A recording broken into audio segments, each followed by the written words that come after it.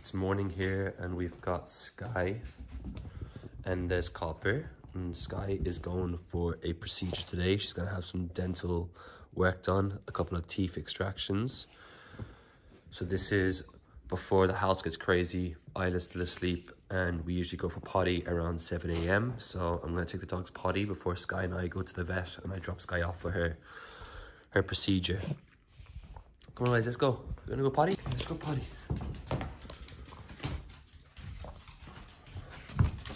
You ready to go guys? Let's go. It's a beautiful day here. Looks like there's gonna be no no clouds in the sky, a sunny day. So we get up every morning. I usually get up every morning around 5, 5.36 and the dogs join me and we usually go for a potty slightly earlier but I was working in the house this morning rather than my office so we're now just going for our first potty of the day. Copper and Skye get their business done. So here we are, the birds are out. We've had a, we've had a cat that's been coming to our garden over the past week or so. Isla's been giving this cat a lot of attention, but the dogs aren't the biggest fans of our new feline friends, so they've been on alert every time we've gone outside to see if our friend is hanging out near the house. We'll probably see him at some point today. But now that on potty, it's usually would be time for dinner, but I'm gonna take, or breakfast I should say, but we call it din dins whether it's breakfast or dinner in our house. Now it's time for Skye to go to get her procedure started. So I'll pick up the camera again in a second. I'm gonna get Skye ready. Okay, Skye, let's go. Good girl. Well, Skye thinks she's going for an individual walk, so she's excited, but let's see how she gets on at the vet. She usually gets pretty nervous at the vet, so we're a little bit worried, but they said it was a pretty normal procedure, so let's see. All right, Skye, you wanna get in the car? We've got our Diggs Evolved dog right here, which Skye likes. Go on, in you go, up ups. Go up ups. You want me to carry you? Okay, there you go. And there she's in. It's just a short trip down the road, so she should be okay. Good girl, guy. You ready? Okay. Right, next up, the vet.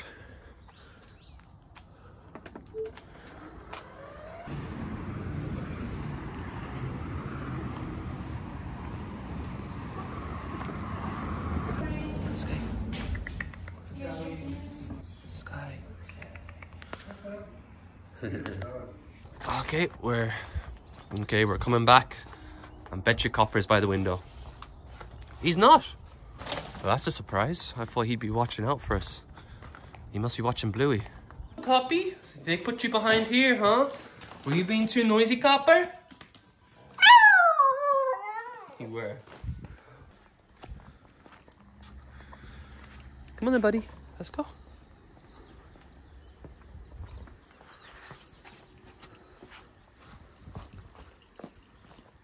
You go potty? You going potty, Copper? You see he's walking behind me. Copper's always behind me. He's uh, very much a Velcro dog. So I gotta watch where I walk. When he was a puppy, he used to always be behind me and I stood on him a couple of times by accident.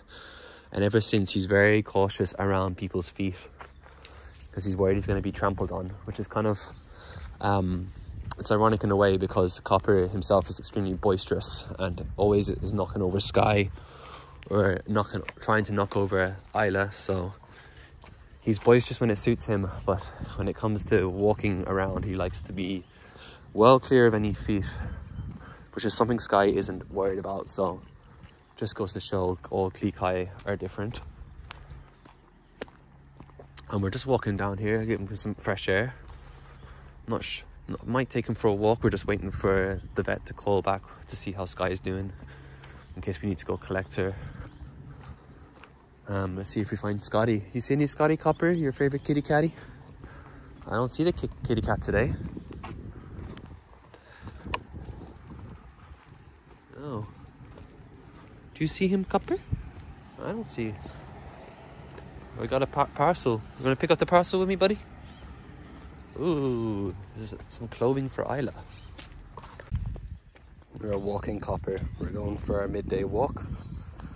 around the neighborhood. Copper's in his element. You can probably hear the turkey in the background. Copper's got a high prey drive, but he doesn't usually go for the turkeys, so. Whew, we're hiking. Going for a walk that I didn't expect. I tried out a new trail near our house. Here we are. So it's two o'clock in the day. I'm giving Copper a bit extra walk because he needs to lose some weight. We're still going here. Racked up around 50 minutes now, so I know everybody says that Copper's got chunky, so as you can see, he has got a bit chunky. Haven't you, Copper? A bit chunky. But we're going here, almost home.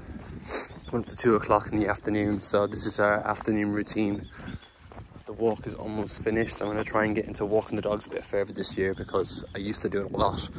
But since having Isla, haven't had the time.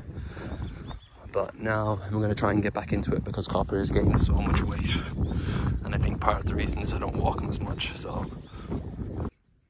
so we are back. We just brought little Skye Skye home from the vet. Everything went really well. She had some teeth extracted I think she's feeling a bit uh, dazed at the moment.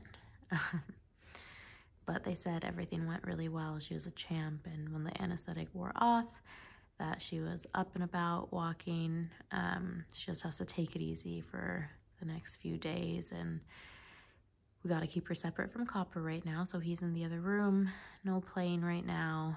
Um, so we're just gonna take it easy.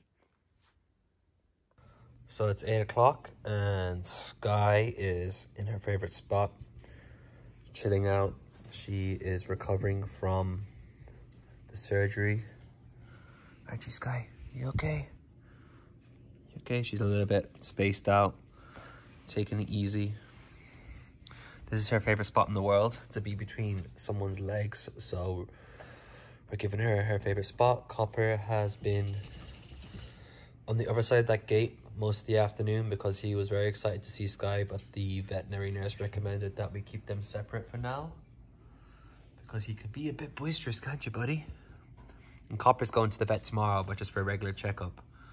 But um, yeah, around this time of evening, it's now 8 o'clock and we're chilling out with the dogs, winding down the sofa before we go to bed.